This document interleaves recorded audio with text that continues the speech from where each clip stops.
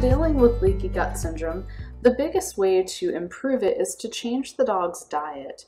And you definitely want to eliminate any processed foods from the diet.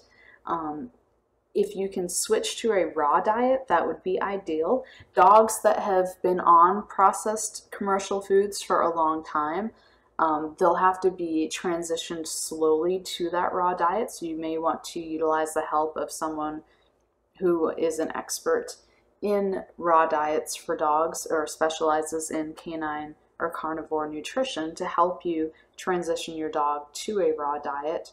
Um, there are also supplements that you can provide your dog. One of the most common would be pre and probiotics. When dogs have leaky gut syndrome, they often have bacteria in their guts that are what we would call the harmful bacteria.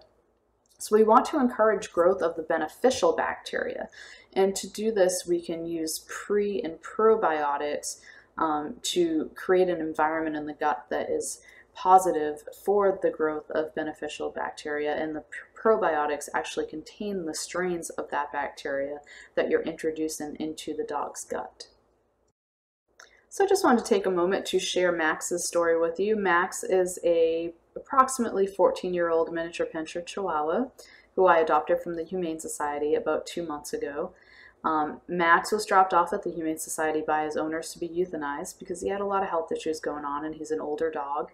Um, I went there looking for a dog like Max so that I could um, rescue a dog that nobody else would want, more or less. Um, so Max came to me with a list of health issues. Um, he was very, very overweight. They gave him a 9 out of 9 on the body condition score, which is as high as he could be. He had a he has a hypoactive thyroid. He has Cushing's disease. He has dental disease. He has um, a few masses, one of which we removed recently off of his foot. Um, and he had some digestive upset when I first got him. He had um, some colitis, so he had diarrhea with some mucus and blood in it. Um, so he, he had a lot of issues going on. So slowly um, we made some changes to Max's life, and those changes have all been very, very positive for him. In addition to treating Max's thyroid and Cushing's disease with medications, I also started him on a raw diet and supplemented him with Chinese herbs and antioxidants. Um, he also began exercising a lot. I live on an 11 acre horse property, so Max went from probably having very, very little exercise to being very active. Um, so this was kind of hard on his body at first, but luckily I also do a lot of body work. So he got some chiropractic adjustments. He got some kinesiology tape to help him through that. Um, and he's really become accustomed to exercising more. So this has been great for him physically and mentally.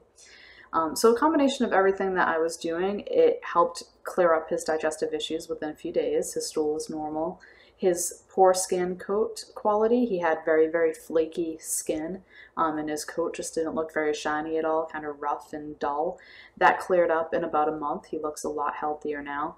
And his weight is definitely improving as well. He's losing weight and becoming more of a proper weight for his for his size and his breeding. So that's Max's story. Um, I think a lot of dogs can benefit from just basically focusing on their gut and trying to provide them with good quality food, supplements, um, not over medicating, and watching out that you're not exposing them to too many toxins and uh, just taking care of the gut health. Is your dog suffering from multiple food allergies, fatigue, skin conditions, or other symptoms with no apparent cause? If you answered yes, you should consider the possibility that your dog has a leaky gut. How can you tell if your dog has leaky gut syndrome? Watch the next video to find out how to.